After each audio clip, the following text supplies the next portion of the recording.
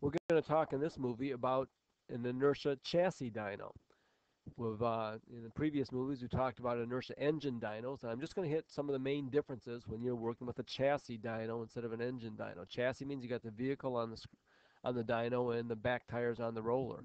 So if you click on your dyno specs, first thing you're going to do is you're going to pick out one of the chassis dyno types down here at the bottom of this option, chassis dyno or chassis dyno with no engine RPM.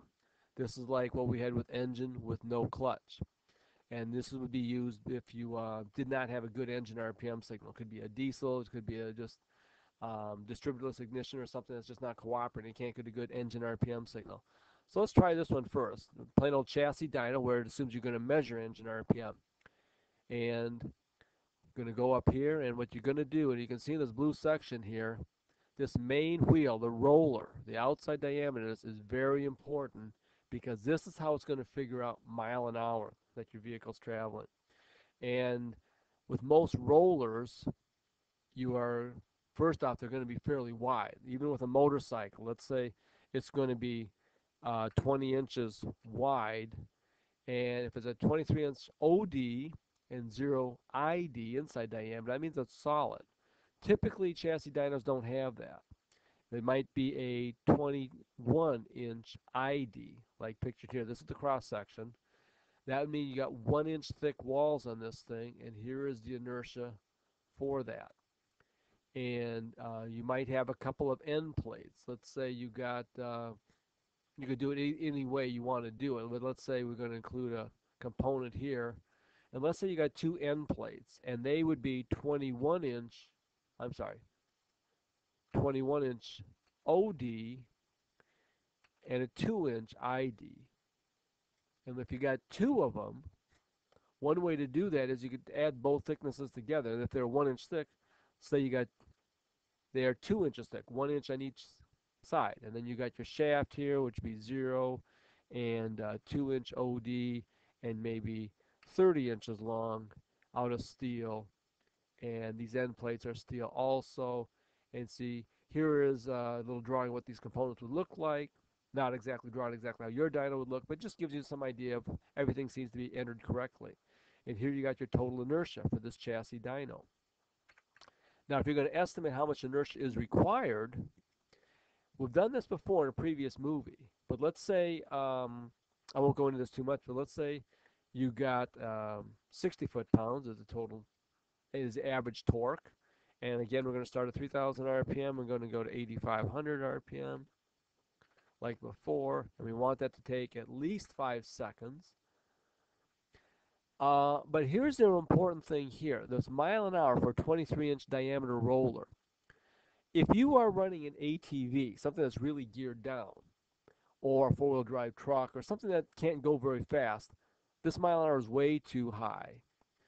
Um, you're going to have to go maybe with a, a 9 to 1 gear reduction, or maybe an ATV, you know, goes 80 miles an hour uh, maybe an 8 to 1 gear reduction. And what that's saying, if you do a pull, do a run, where you're going to top out at only 73 miles an hour, and this takes into account all sorts of things like tire size, gear ratio, all that stuff. It goes just purely by mile an hour. Um, it knows that this is the dyno wheel RPM, your roller RPM, to give you 73 miles an hour. Uh, and you can see you need a lot of inertia for this geared down vehicle. If you can or if you try to run this thing in second gear if you go with a less of a gear reduction you can see here you're going to be at 145 miles an hour at the end of your run which is probably too high for a lot of things but let's go 5 to 1 and you can see here we're going to have a max wheel RPM at, the, at 8500 RPM with this 5 to 1 gear ratio of um, 1700 RPM, which is equal to 116 mile an hour. So maybe that's your particular gear uh, vehicle in fourth gear or something, 116 mile an hour. The point I'm trying to make here is you will design for a certain mile an hour that your vehicles will achieve in the top end. And the higher you you allow this to go, the less inertia is required. If we only if we had to stop this thing at you can see here the current inertia is 400 and that's what's required about 400 pound foot squared inertia. When we went with this nine to one gear ratio reduction, where it only topped out at 65 miles an hour, either something that's very geared down or you're choosing a very low gear like second gear, you need a lot more inertia to have it take five seconds. So I'm just illustrating some points there. Now you can see here back at the dyno spec screen, if you say chassis dyno, this is grayed out. It's not being used. That's because it's going to figure it out from the engine RPM. But if you say here, I've got no engine RPM, I'm going to back out of here. It says, do you want to save it? Yes. Save as the master. Say yes. Uh, I'm going to show you how the program would figure out what the uh, what the dyno RPM is, or I'm sorry, what the engine RPM is from the dyno RPM. And it's done here in something we haven't talked about yet, test conditions. This is things like the weather, what correction factor to use and such. And down here is a test vehicle summary.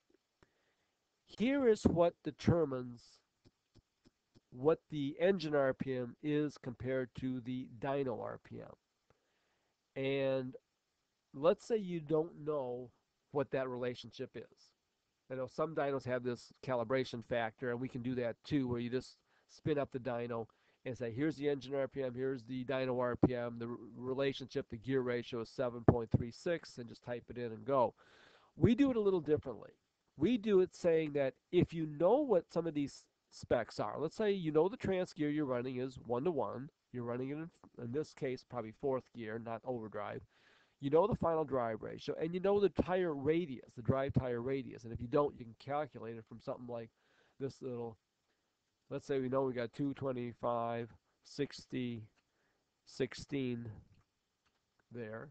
It tells you that it's a 12.9 radius. If you use that, this is all you need to know. You can just type the numbers in, and it will then, from those numbers, figure out what the relationship is between that roller of 23 inch diameter and your engine going through this stuff.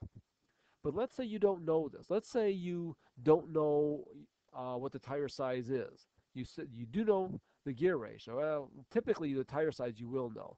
Let's say you know a trans ratio. If you don't know one of these, or if you don't know any of them, what you can do is just type in two of them and figure out what the third one would be. So let's go over here and just type in something and say they're just really big guesses. And then what you do is you go over and click on this measure button.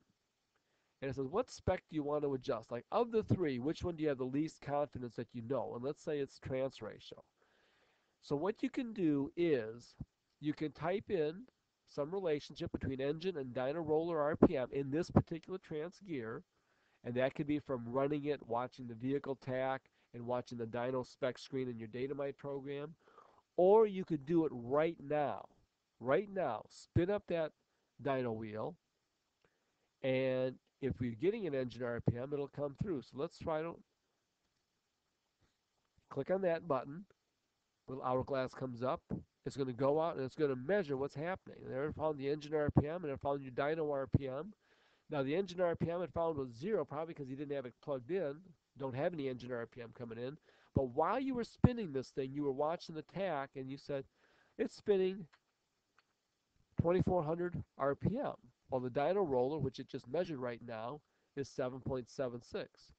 And that would calculate out of a trans ratio of 1.13. Now that may not be right.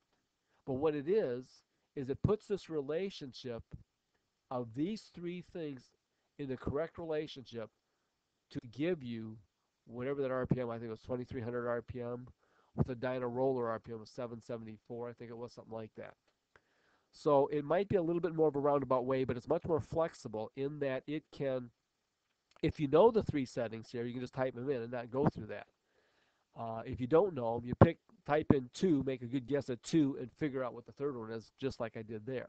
Now another option you got here is you can save what we did here. It says it already exists. Do you want to overwrite it? Say no and then it says you got to type this in. So let's say this is some uh, Kawasaki 500.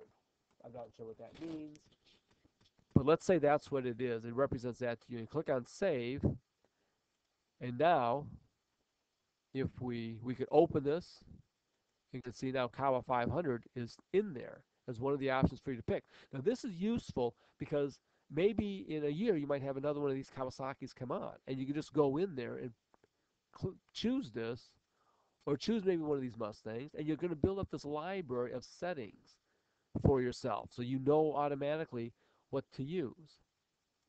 So anyway, that's what you can do for uh, for figuring out engine RPM from dyno RPM, the relationship between the two. Now, if you are measuring engine RPM, this information isn't nearly as critical. Um, what this would be used for then is to figure out tire or clutch and converter slip. Just like um, the gear ratios used when you're measuring engine RPM with a engine dyno is just used to figure out your clutch slip. So if you're saying you are measuring engine RPM, not so critical. If you're not measuring the engine RPM, this stuff is very critical.